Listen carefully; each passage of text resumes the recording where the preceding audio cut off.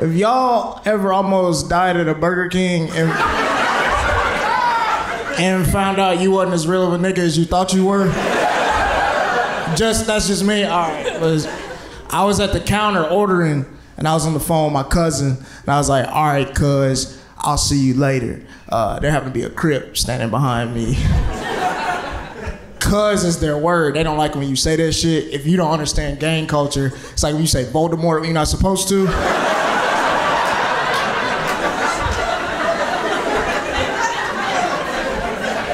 Glad we on the same page. So he gets mad. He gets in my face. He said, "I heard you say cuz nigga with them East Side niggas. Where you from, nigga?" I don't know how to deal with these situations because I went to private school.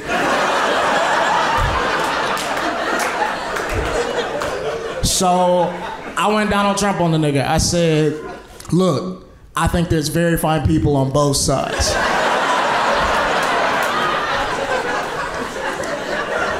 He didn't like that shit. Pulls a box cutter on me in the middle of the Burger King. I don't know if you've seen a Burger King commercial lately. That shit not supposed to happen. So I look at the lady at the register like, yo, can you defend me?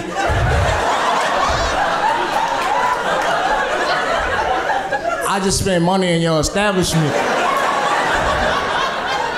And she looked me dead in my face and said, Look, boo, we make 15 an hour in this bitch. You better man the fuck up. I was like, all right.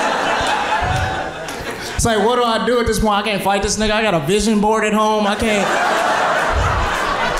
What the fuck do I do? So I just start thinking. So I look at him, I say, look, brother.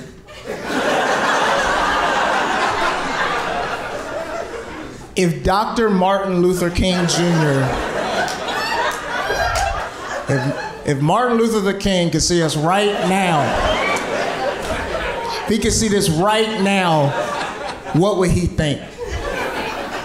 He looked at me dead in my face, said, nigga, I'm Puerto Rican. I don't give a fuck about Martin Luther King.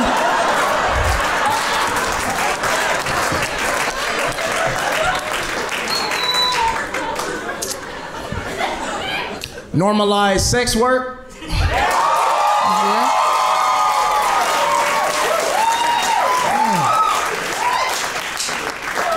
But normalize sex work, but that means we also gotta normalize the weird niggas that pay for that shit too.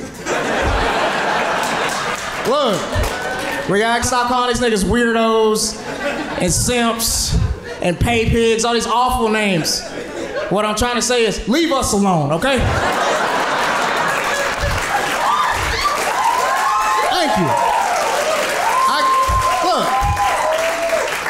Can spend my money on whatever the fuck I want to, all right? I'm a grown man. I hate that there's this whole moral stigma around sex work. People think they're better because they don't make porn for work. I wish more people did sex work. Like uh, the niggas that owe me money. He right there. I see him. Called me before the show. Nah, it's gonna be a minute before I get that fifty dollars to you. I was like, well, uh, you better make a nut video, my nigga. I need that shit.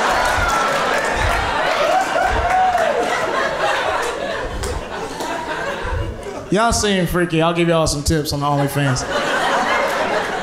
Uh, tip one: treat that shit like the grocery store. Your mom always taught you don't grocery shop while you hungry. Don't be scrolling on OnlyFans while you horny, dog.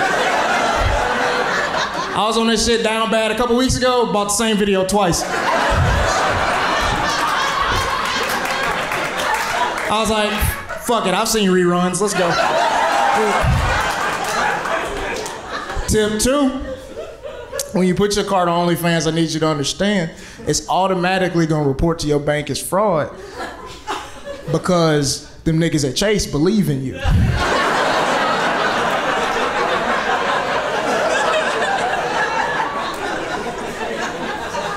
Imagine me on the phone with the Chase rep saying like, 9.99, that's your boy. Like that's.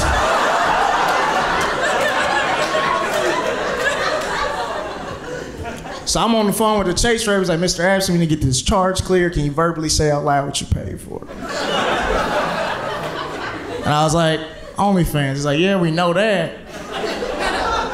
But to get this clear, we know that we need to know what exactly the video was called that you paid for. And I was like, uh, Chase, nigga, I'm in an Uber right now.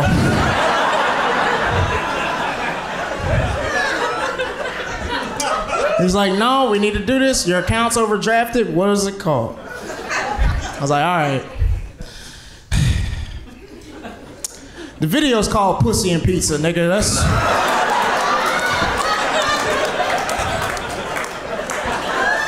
I gotta turn around when I say that punchline.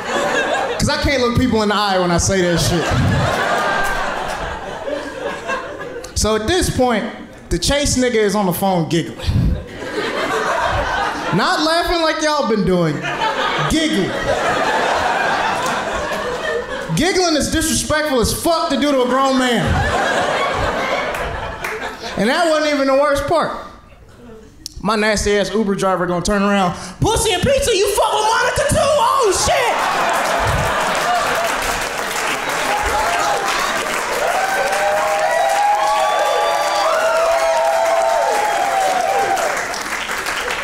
Yeah, I'm glad y'all laughing at this shit. I hate comedy. Hate the shit. Wanted to be a rapper. Settle for this bullshit, bro.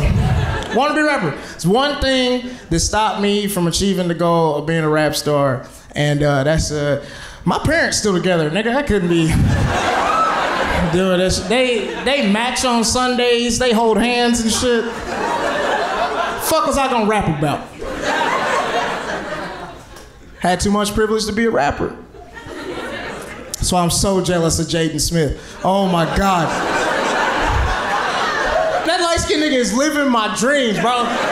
It's not fair. I hate it. It's not fair. Like, cause he has privilege too. Why does he get to rap? And I don't. You the Fresh Princess Prince, bro. It's not fair. Y'all know that song Icon he has? Y'all know that song Icon? Let's be real. Slaps a little hard for a nigga with a trust fund. Let's. It's ridiculous how good he is. I'm a fan. I love him. I love Jaden. It's not fair. I get jealous. I don't like it. Because think of your favorite rapper, man. Y'all know poverty struggle makes the best rap music, right? Think of your favorite rapper.